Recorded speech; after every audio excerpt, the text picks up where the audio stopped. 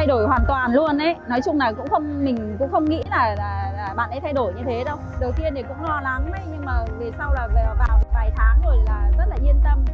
Em nó cũng thay đổi ờ, cô nhìn rất rất là nhiều vì là sáng là là dậy sớm theo lề lếp hoặc là mà có đổi về cái cái uh, khoản giao tiếp bên ngoài là em tự tin hơn thì là cô thấy cũng rất là là ngoan thì cô thấy là rất là tự hào. Cô thấy em thay đổi rất nhiều luôn. Thứ nhất là về cái uh, tư duy. Cô thấy là cái tư duy là thay đổi nhiều.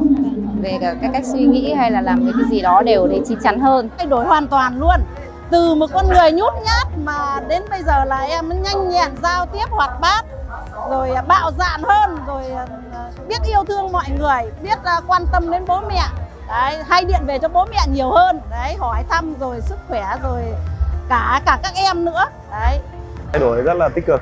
Đấy từ à, khi à, em đang học ở cái trường à, phổ thông ấy thì trong cái nếp sống cũng như là sinh hoạt cũng như là kỷ luật thì chưa được ấy.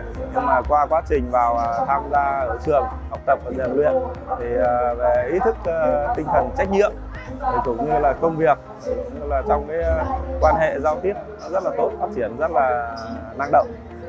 Rất cảm ơn ờ, CEO COO vì đã thay đổi lại cái suy nghĩ của tôi đối với ờ, giáo dục con cái mà cũng đã thay đổi chính cả bản thân con trai tôi. Bạn ấy bước chân vào đây thì đúng thật là à, cũng có nhiều cái nó trong thâm tâm tôi là cảm thấy là chắc có thể là thật khó để có thể đạt được nhưng mà ngược lại sau một năm uh, huấn luyện tại trường theo với cái ờ, phương châm của thầy Tuấn là thân tâm tuệ thì bạn đã thay đổi một cách đúng là ngoạn mục luôn từ suy nghĩ đến tư duy rồi đến hành động thật là tuyệt vời.